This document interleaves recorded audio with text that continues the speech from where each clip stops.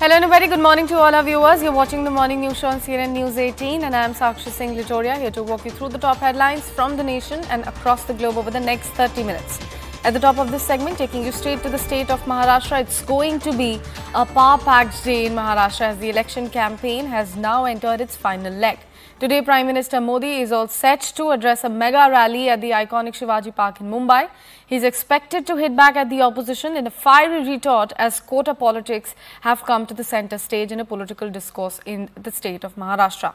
Earlier yesterday only, even Union Minister Amit Shah uh, accused the Congress of colluding with clerics to inject Muslim quota at the cost of SCs and OBCs. The comment comes as Congress and other INDIA bloc allies continue to voice their support for Muslim reservation. Listen in to an excerpt from that conversation as well.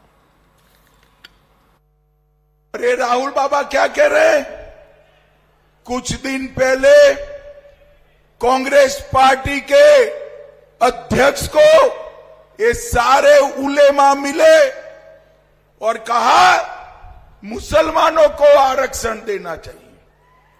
भाइयों बहनों अगर मुसलमानों को आरक्षण देना है तो SC, ST और ओबीसी का आरक्षण काट कर देना पड़ेगा। राहुल बाबा मैं आज दूरे से कहकर जाता हूँ कान खोल कर सुन लो आपकी चौथी पीढ़ी आएगी तो भी मुस्लिम आरक्षण नहीं। आपने नैरेटिव की बात की, जो लोकसभा में हमने देखा विपक्ष ने एक नैरेटिव क्रिएट किया था कि मोदी संविधान बदल देंगे रिजर्वेशन की पॉलिसी एंड कर देंगे। कल भी अगर राहुल गांधी महाराष्ट्र में आए थे तो उन्होंने कल भी इस रिजर्वेशन को लेकर बात की। उन्होंने कहा कि रिजर्वेशन का कैफ हटा देंगे। आप किस तरह से देखते हैं? आपको लगता है कि एक दोबारा एक अटेम्प्ट है उनका लोगों को अट्रैक्ट करने का? बिल्कुल, लोकसभा के समय पे एक फेक नैरेटिव जिसका सामना हमें करना पड़ा कि संविधान बदलने वाले। मुझे लगता है कि मोदी जी पहले ऐसे प्रधानमंत्री है, जो संविधान का सही सम्मान उनके काल में हुआ है, उनके समय में हुआ है। यहाँ से पिछले हम देखते हैं तो संविधान का सम्मान किसी प्राइम मिनिस्टर ने किया, जितना हमारे मोदी जी ने किया। और दूसरे, राहुल गांधी जी बोले, दो बार बोले, शायद कि रिजर्वेशन की ज़रूरत नहीं, और उसका समर्थन नाना पटोले भी कर रहे हैं। हमारे कांग्रेस के प्रदेश के अध्यक्ष बोल रहे हैं, महाराष्ट्र की, उनका समझ। तो मुझे लगता है कि रिजर्वेशन की ज़रूरत नहीं, एक बाजू में आप बोल रहे हो, दूसरी तरफ़ आप बोल रहे हो कि रिजर्वेशन मराठा समाज को क्यों नहीं दे रहे? तो यहाँ की राजनीति लोगों के समझ में आ रही है फेक नैरेटिव जो ये सब स्प्रेड कर रहे हैं, उसके पर वोट लेना चाहते हैं। तो ये महाराष्ट्र की जनता ने अभी पहचान लिया है, क्योंकि पिछले पचास साठ साल से इन्हीं की सत्ता थी। कांग्रेस की थी और एनसीपी की थी। तो उस समय तो मराठा समाज को आरक्षण की मांग वही से, उस समय से भी थी।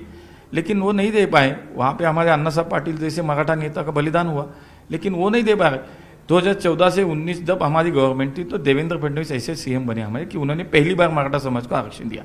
वो हाईकोर्ट में कायम रहा। सुप्रीम कोर्ट में गवर्नमेंट थी, तब तक कायम रहा। लेकिन बाद में उद्धव ठाकरे सरकार आई और वहाँ पे हमारा रिजर्वेशन चला गया। तो एक बात मुझे लगता है कि ये फेक नेगेटिव अभी काम नहीं करने वाला। महाराष्ट्र की जनता तो मुझे लगता है कि बहुत विचार से इस बार फिर एक बार महायुति की सरकार के साथ रहेगी। जो लोग बटोगे तो कटोगे को सांप्रदायिक कहते हैं। जो लोग एक रहेंगे, सेफ़ रहेंगे को सांप्रदायिक मानते हैं, उनके लिए ऐसे 10 परसेंट मुस्लिम आरक्षण के फतवे, वोट जिहाद करो के नारे, मुस्लिम एक हो जाओ और वोट करो ईमान के लिए मुस्लिम फ़र्स्ट की पॉलिसी जो कर्नाटका में कॉन्ट्रैक्ट देने में अपनाई जा रही है, ये सब कुछ सेकुलर है। ये तो संविधान के साथ है। परंतु अगर बोला जाए हिंदू समाज ना बटे या भारत के लोग ना बटे तो वो सांप्रदायिक कहलाता है। यदि एमवीए और इंडिया अलायंस इतनी ही सेकुलरिज्म और संविधान की बातें करती है तो जो एआईएम पीएलबी शरिया की वकालत करती है, संविधान की नहीं, क्या उसके समर्थन को दरकिनार करेगी? क्या वो एमवीए या इंडिया अलायंस या कांग्रेस या राहुल प्रियंका वाड्रा लड़कियों लड़ सकती हूँ ब्रिगेड जो संविधान संविधान करते हैं आम्बेडकर जी के बारे में बोलते हैं, क्या वो ओपनली बोलेंगे, हमें आपका समर्थन नहीं चाहिए, दूर हटिए?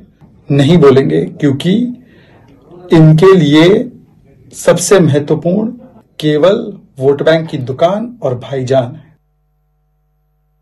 मुल्क की मौजूदा सूरत हाल को सामने रखते हुए ये कहना मुनासिब होगा कि महाराष्ट्र के 2024 के विधानसभा इलेक्शंस बहुत गैर मामूली अहमियत के हामिल हो चुके हैं, जिसका असर सिर्फ़ स्टेट के फ्यूचर पर नहीं, शायद पूरे मुल्क के मुस्तबिल पर भी पड़ने वाला है। हम इस फैसले पर पहुँचे हैं कि महाविकास अगाड़ी की दो सौ उनहत्तर two hundred and sixty nine सीटों पर तायद की जाए। जिसकी तफसील एन नंबर वन में दी गई है, जो आपकी खिदमत में पेश की जाएगी। महाविकास अघाड़ी के अलावा हमने चंद सीटों पर दूसरी पार्टियों के कैंडिडेट्स की भी तायद करने का फैसला किया है।